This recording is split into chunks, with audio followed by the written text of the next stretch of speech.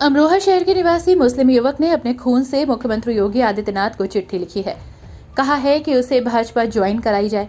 अपने खून से कागज़ पर भारत माता की जय भी लिख कर बताया है कि वो भाजपा के कार्य से बेहद प्रभावित है और पार्टी में शामिल होना चाहते हैं। दरअसल कांट रोड निवासी कमरानुद्दीन सिद्दीकी ने भाजपा ज्वाइन करने के लिए अपने खून से प्रदेश के मुख्यमंत्री योगी आदित्यनाथ को चिट्ठी लिखी है।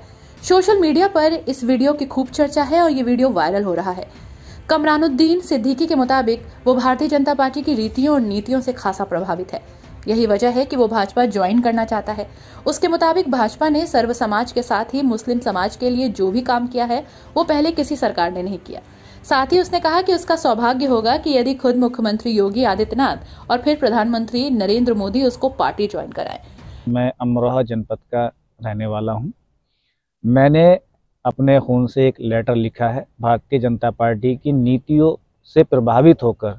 भारतीय जनता पार्टी में, ने मुसलमानों के लिए जो कार्य किए हैं, वो आज तक किसी पार्टी ने नहीं किए हैं।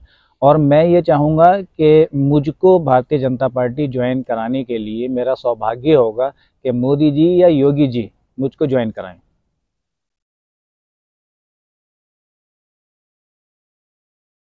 फ़िलहाल कमरानुद्दीन सिद्दीकी का पूरा वीडियो सोशल मीडिया पर वायरल होने के बाद चर्चाएँ तेज हैं।